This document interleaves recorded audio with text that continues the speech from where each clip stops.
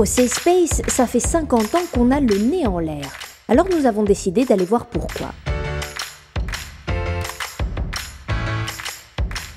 Le C-Space, organisé par le CNES, Planète Science et la DGA, permet à des centaines de jeunes depuis 1963 de lancer des fusées expérimentales. Étudiants ou membres de clubs, mais aussi acteurs du spatial et de l'aéronautique, pas de doute, tous les gens que nous avons rencontrés sont des fondus d'espace, petits nouveaux ou grands habitués des campagnes de lancement. Alors, premier C-Space Alors non, ce n'est pas mon premier C-Space, euh, c'est mon troisième. On commence à avoir l'habitude d'avoir certains problèmes, donc tout de suite on a des idées qui nous viennent, et ça on sent qu'on est de plus en plus à l'aise au fur et à mesure des années. Ma première participation au C-Space euh, remonte à 2004.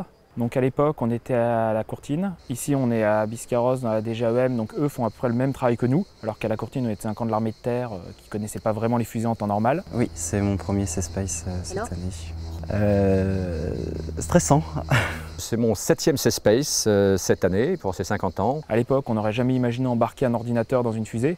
Aujourd'hui, euh, les ordinateurs qu'on met dans la fusée euh, sont énormes, c'est à peu près la même puissance que les téléphones portables, voire beaucoup plus. C'est mon premier C-Space, c'est quelque chose euh, de formidable, peut-être inoubliable. Pour tous, l'intérêt pour le domaine spatial n'est pas nouveau. Et quand on leur demande leurs premiers souvenirs marquants liés à l'espace, la réponse est évidente. Mon tout premier souvenir, c'est Ariane. Euh, le décollage, quand on, en fait, on voyait toutes les plaques se décoller.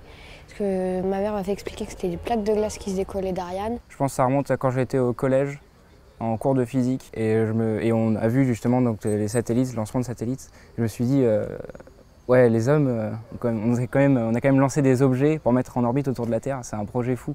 J'étais probablement en, en cours, euh, en CM2 avant de rentrer au collège. Et nous avons, avec l'institutrice, écouté euh, Sputnik. C'était à l'été où euh, les premiers pas de, de l'homme sur la Lune. Et ça m'avait assez marqué, où, euh, comme beaucoup de, de gens à l'époque, on avait assisté à la télévision à ce, cet événement. Et d'ailleurs, quand j'ai revu euh, la maquette à Moscou du Sputnik, j'étais déçu parce qu'en fait, c'est un gros ballon de basket avec deux antennes.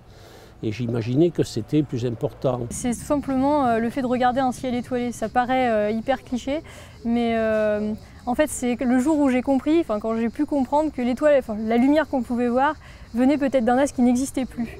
Mes parents m'ont amené visiter le Radome. Le Radome, c'est la, la première station de télécommunication spatiale française qui a permis la première liaison de télécom entre la France et les États-Unis. J'avais 8 ans, donc ça remonte à un petit moment. Donc euh, c'était sur une colonie de vacances Planète Science. où On fabriquait des petites fusées en carton grandes comme ça. Et euh, bah, à l'époque, enfin, c'était inimaginable de fabriquer une fusée à 8 ans. euh, donc euh, c'est mon- vraiment mon premier souvenir, ça a marqué. Bah, depuis, bah, j'en ai refait plein. On voyait une antenne gigantesque à l'intérieur. Je ne me représentais pas tout ce que ça signifiait, mais déjà ça a commencé à me faire intéresser aux transmissions spatiales. Et dans le futur, l'espace, ce sera comment? Et le C-Space aura-t-il toujours une raison d'être?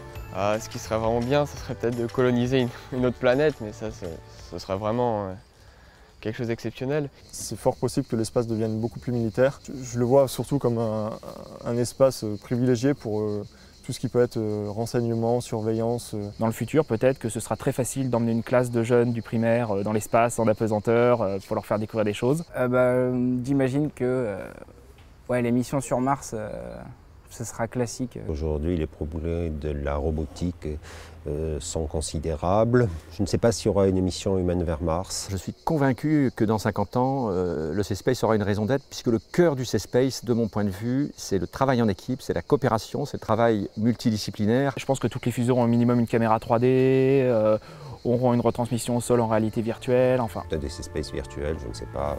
Mais il y aura toujours un intérêt pour le spatial, ça j'en suis convaincu. En tout cas, euh, j'espère que le mot expérimental euh, gardera euh, vraiment son sens euh, propre. Et donc, moi, je suis plein d'espérance, dans 50 ans, ça se fera encore.